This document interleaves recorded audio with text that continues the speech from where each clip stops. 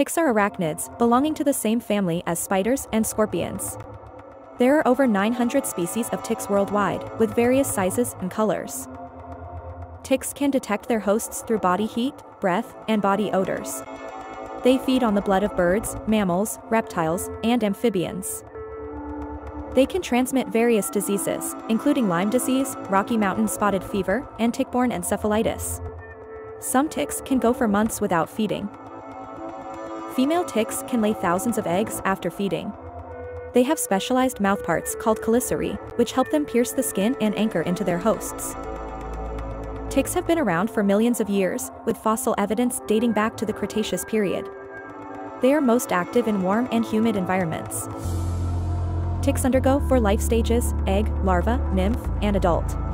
The saliva contains substances that prevent blood clotting and numb the host's skin, making them hard to detect.